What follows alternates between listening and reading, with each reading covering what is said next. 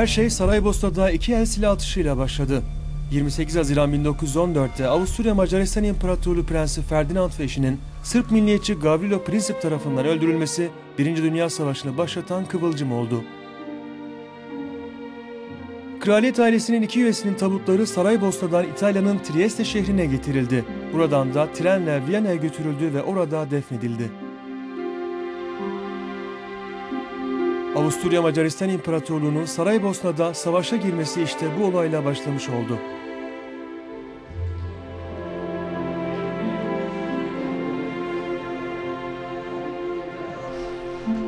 Fransa'da özellikle 1870 yılından sonra genel refah artmış, bilim ve teknolojide ciddi gelişmeler yaşanmıştı. Altın Çağ denilen bu dönem 1914'te savaşın başlamasıyla birlikte sona ermiş oldu.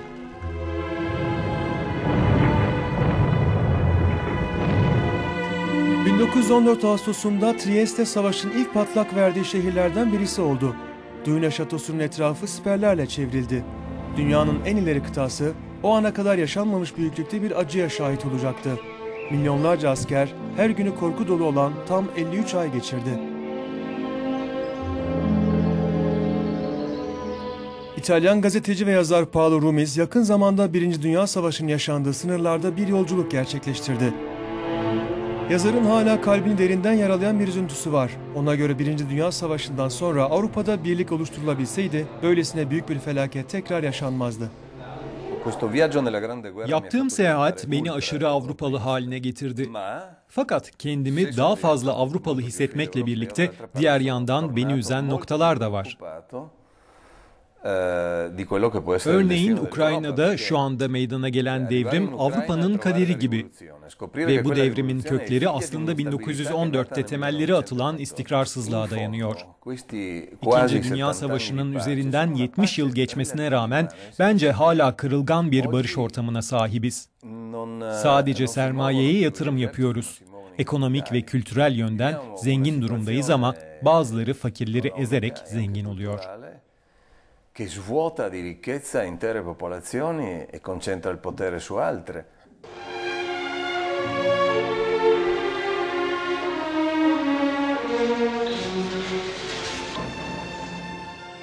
Io trovo abbastanza inconcepibile che Önümüzdeki günlerde 1914 yılının anma törenleri yapılacak. Fakat şunu üzülerek belirtmeliyim ki Avrupa bugün bile hala ortak ve güçlü bir tavır sergileyemiyor. 1914 olayları sadece Almanların sessizliğiyle veya Fransızların marşlarıyla anılmamalı. İngilizlerin tamburu veya İtalyanların her zamanki söylemleriyle de bu yapılmamalı. Bana göre bunların hepsi gereksiz. Avrupa'nın büyük bir vizyona ihtiyacı var ve açıkça şunu diyebilmeli. Başımıza gelecek olayları önceden görmede ve gerekli tedbirleri almada maalesef yetersiziz.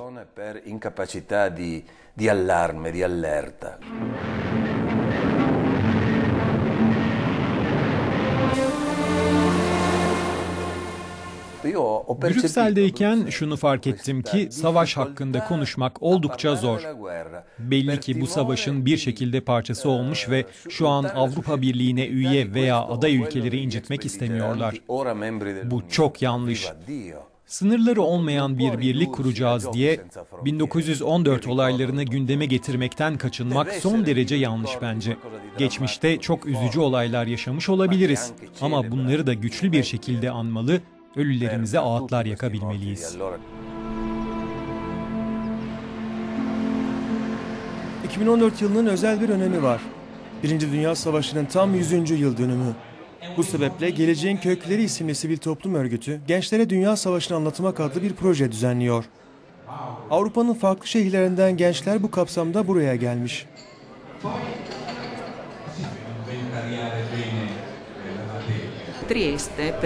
Birinci Dünya Savaşı'ndan önce Trieste şehri birlikte yaşamanın, kabullenmenin ve farklı kültürlere saygının bir sembolüydü. Umarım bu tip değerleri eskiden olduğu gibi tekrar yaşatırız. Bugün bunları hatırlamak için bir araya geldik.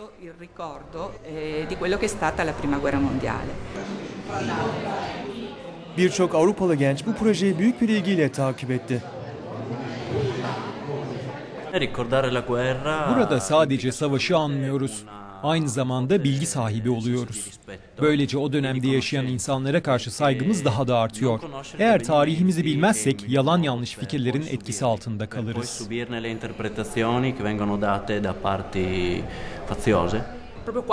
Trieste'de Birinci Dünya Savaşı'ndan kalma birçok anıt ve eser görebilirsiniz. Bugün hala ayaktalar. Bence bu dönemi bilmeyen gençlere bütün bu eserler hiçbir anlam ifade etmiyor.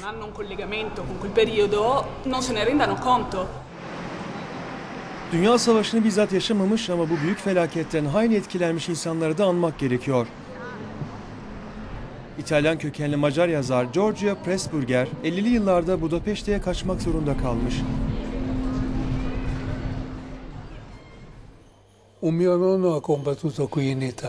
Büyük babam Macar bir asker olarak İtalya'da savaştı.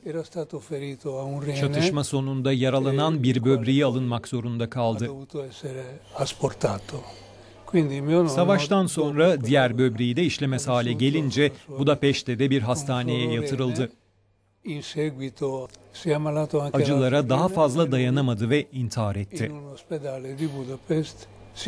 Şunu söylemeliyim ki büyük babamın intiharı çocuklarım için de çok büyük bir trajedi oldu. Kuzey Trieste'de bulunan ve Alplerden Soça Nehri'ne kadar uzanan bölgedeyiz. Burada İtalyan ordusuyla Almanya ve Avusturya Macaristan ordusu 29 ay boyunca savaşmış. Kobalit Müzesi'nde bu sınırda yaşanan çatışmaları anlatan birçok hatıra bulunuyor. 500 civarında fotoğraf, yüzlerce malzeme ve haritalar var. Ayrıca Ernest Hemingway ve Irvin Rommel gibi birçok ünlü ismin maceralarını da burada görebiliyorsunuz.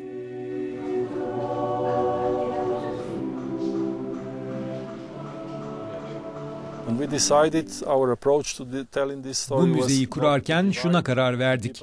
Yaşananları anlatırken kesinlikle şu taraf iyiydi veya diğer taraf kötüydü şeklinde ifadeler kullanmıyoruz. Bütün uluslara eşit yaklaşıyoruz. Bizim için önemli olan şey kimin iyi veya kötü olduğu değil, savaşın gerçek hikayesi. Müzede İtalyan askerlerin durumu seslendiriliyor. Ayrıca Alplerde yaşayan birisinin ailesine mektup yazması sembolize ediliyor. Nisem mogel verjeti, da bom lahko kdaj zaspal v takih nemogočih razmerah. These places we are speaking Bu müzede en çok üzerinde durduğumuz yerler aslında dağlar ve buralardaki savaş koşulları. Bu gösteriyor ki çoğu zaman doğal şartlar gerçek düşmandan daha tehlikeli olabiliyor. Yer bilimi çalışmaları buranın ne batı sınırı ne de Rusya sınırına benzediğini gösteriyor. Yani buradaki doğa şartları çok daha çetin ve burada savaşan insanlar muhtemelen diğerlerinden çok farklı tecrübeler yaşadı. Kısaca buradaki dağların önemi çok büyük.